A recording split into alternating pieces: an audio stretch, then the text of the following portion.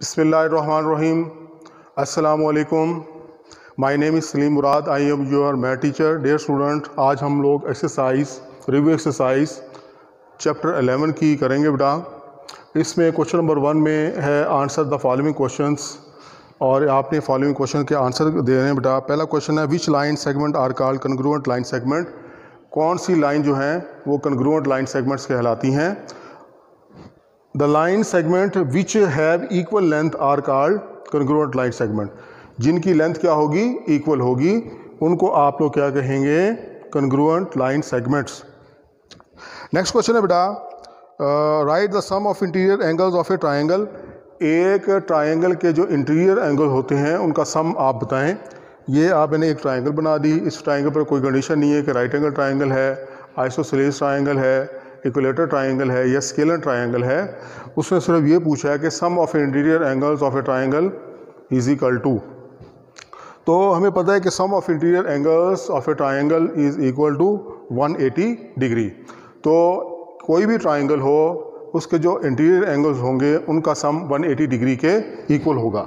इसके बाद है बेटा question number three define and equilateral triangle तो इसमें आपने क्या करना है बेटा? इक्वलेटर ट्राइंगल को डिफाइन करना है कि इक्वलेटर ट्राइंगल क्या होती है। इसका आसान हल है बेटा, ऐसी ट्राइंगल जिनकी तमाम साइड्स क्या हों इक्वल लेंथ की हों इक्वलेटर ट्राइंगल्स कहलाती है। लेकिन आपकी बुक में इसका आंसर लिखा हुआ बेटा triangle in which all the three sides are equal एक तो क्या होनी चाहिए बेटा, तमाम साइडें इक्वल होनी चाहिए and all three angles are congruent और तीनों के तीनों एंगल्स भी क्या होने चाहिए, बराबर होने चाहिए। तो ऐसी ट्राइंगल्स क्या होगी? इक्वलेटर ट्राइंगल होगी। इक्वलेटर ट्राइंगल में अगर तमाम साइड्स इक्वल लेंथ की हैं तो तमाम एंगल्स भी क्या होंगे? इक्वल होंगे। और हमें अभी अभी थोड़ी देर पहले मैंने आपको बताया कि sum of interior angles of a triangle is equal to one degree जब तमाम साइडें और एंगल भी बराबर हैं तो हर एंगल इक्वलेटेड ट्राइंगल में 60 डिग्री का होगा। इसके बाद क्वेश्चन है बेटा कि नेक्स्ट क्वेश्चन है इसमें आपका। Name the equal sides of an isosceles triangle आपने बताना है कि आइसोसिलीज ट्राइंगल में जो साइडें इक्वल होती हैं, उनको आप लोग क्या कहते हैं? इनको आप लोग कहते हैं लेग्स ऑफ़ ट्राइंगल्स क्या कहलाते हैं? They are called legs they are called legs अच्छा यहाँ पर एक मैं वजाहत कर दूँ बेटा, जैसे मैंने सिंपल कॉन्सेप्ट दिया आपको इक्वलेटर ट्राइंगल का, कि तमाम साइडें बराबर होंगी और उसके साथ साथ तमाम एंगल्स भी क्या होंगे? बराबर होंगे। लेकिन आइसोसिलीस ट्राइंगल में दो एंगल और दो साइडें क्या होंगी? बराबर होंगी, क्योंकि हम कह चुके हैं ऐसी ट्राइंगल जिसमें सिर्फ़ दो साइडें बराबर हों आइसोसिलीस ट्राइंगल्स कहलाती है। और दो जो साइडें बराबर होंगी, उनके एंगल भी क्या होंगे? बराबर होंगे। लेकिन उसने जो क्वेश्चन किया, उसमें ये पूछा define name the equal side of an isosceles triangle equal equal sides of isosceles triangle को हम लोग क्या कहते हैं? लेग्स कहते हैं। क्या कहते हैं बेटा? लेग्स अच्छा नेक्स्ट क्वेश्चन है बेटा। What is meant by vertex angle in an isosceles triangle vertex angle कौन सा होता है आइसोसिलीस ट्राइंगल में? अब in isosceles triangle the angle form by the two side of equal length अब, दो साइडें आपके पास आ गई बेटा ये इक्वल लेंथ की। ये आ गई आपके पास इक्वल लेंथ की और ये एंगल भी क्या होंगे? इक्वल होंगे। क्या होंगे? इक्वल होंगे। अब इसके साइड जो ऑपोजिट है टू द बेस ये इसका बेस है, ये इसका बेस है और इसकी ये एंगल क्या है बेटा? अपोजिट है। ये एंगल क्या है? अपोजिट है। ज़ाहिर है कि ये एंगल दोनों तो इक्वल होंगे। ये साइड और ये साइड आपस में इक्वल हैं। तो ये एंगल्स भी क्या होंगे? इक्वल होंगे। क्या होंगे? इक्वल होंगे। और ये बेस है। बेस के सामने जो एंगल होगा उसको आप लोग क्या कहेंगे? वर्टेक्स एंगल क्या कहेंगे? वर्टेक्स एंगल अच्छा बेटा क्वेश्चन नंबर वन में जो डेफिनेशंस थी वो आपको उम्मीद है समझ आई होंगी। अब हम एक्सरसाइज रिव्यू एक्सरसाइज का क्वेश्चन नंबर फोर और फाइव डिस्कस करेंगे। क्वेश्चन नंबर फोर और फाइव डिस्कस करने से पहले आ, ये डेफिनेशंस आपको बताई गई हैं। अब है divide line segment of a length 9.8 centimetre into seven congruent parts एक लाइन है आपके पास, जिसकी लेंथ कितनी है बेटा? 9.8 सेंटीमीटर उसको आपने डिवाइड करना है सेवन कन्ग्रुएंट पार्ट्स में।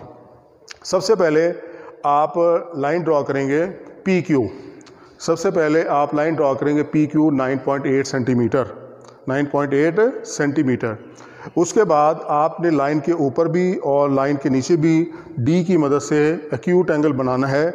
मतलब इसके ऊपर आप डी की मदद से 90 डिग्री से कम कोई भी एंगल बना सकते हैं। 30 डिग्री का बना लें 45 डिग्री का बना लें 60 का बना लें, लेकिन बेहतरीन कौन सा है? 30 या 45 का। 30 का एंगल बना लें 30 का एंगल बनाने के बाद इसमें से लाइन पास कर दें।